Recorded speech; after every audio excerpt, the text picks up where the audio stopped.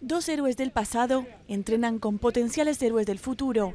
Nahual El Moutahuaquel, ganadora de la medalla de oro en los 400 metros vallas en 1984 y actual vicepresidenta del Comité Olímpico Internacional, así como el campeón en salto de pértiga Sergei Bubka, se encontraron con estrellas del atletismo brasileño.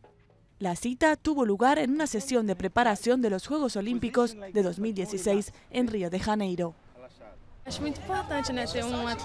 Es muy importante ver a dos atletas olímpicos como ellos venir hasta aquí a darnos una conferencia. Con ellos aprendemos técnicas sobre sus pruebas.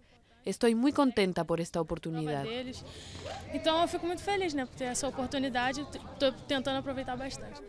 Pero el encuentro no solo